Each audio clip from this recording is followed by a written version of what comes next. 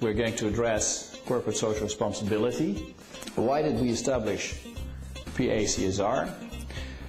Because we found out that in the course of uh, assistance to multinational enterprises in their investments, both in Europe but also in Asia or in Russia, uh, a dramatic, big terrain field of expertise, of funding, was totally left unused.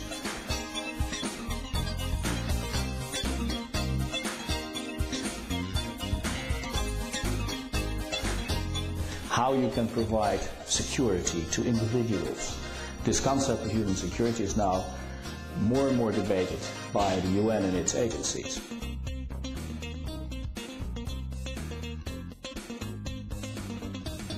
Obviously, when you are a bank, you're going to do something else than when you are a big farm. So, how is a bank going to do CSR? It must be different from what a farmer is doing.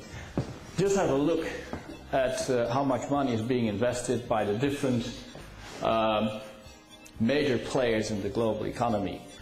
Uh, of course, these numbers uh, are rough numbers. Uh, can you imagine how much good you can do with that while you are do, doing your investments, the way you're doing them, the influence you exert in society with these numbers?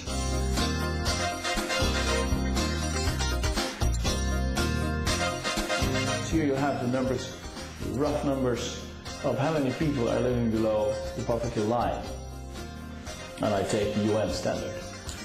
I regularly meet people uh, who actually are below uh, that standard. No doubt you know them yourself.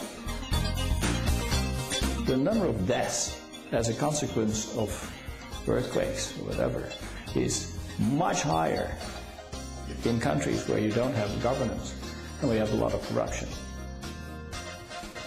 Because they don't build the right buildings. They cheat. 30% of the budget for the construction of a school disappears in the pockets of people.